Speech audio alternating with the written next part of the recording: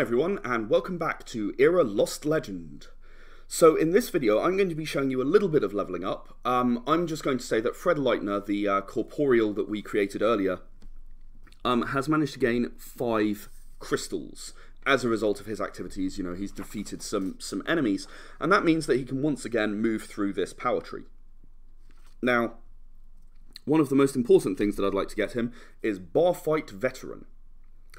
Um, so that's going to be one, and uh, that will be a specialty. So bar fight veteran, um, just to explain, means that as long as no one's fired a weapon or used an explosive, he is actually, or used a spell, I should say, um, he is actually able to act twice with an unarmed attack. So it's very, very powerful under certain circumstances.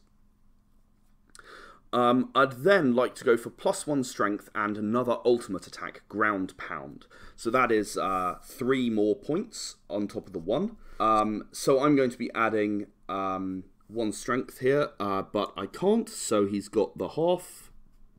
Uh, he needs an extra strength on top of that if I want to get to the, the next level of strength. And I'm going to add ground pound to his uh, ultimate attacks here. Um, now, that means that he can now choose each time whether he wants to do Focus Strike or Ground Pound, and each one has their own special differences about how they work. Now, that means I'm looking around for another strength that I can get to easily, and uh, unfortunately, it looks like there isn't one. Not that I can get to simply and quickly.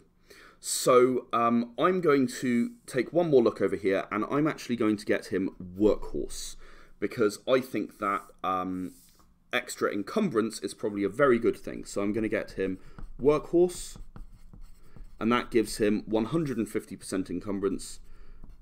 So he goes up to 12 encumbrance.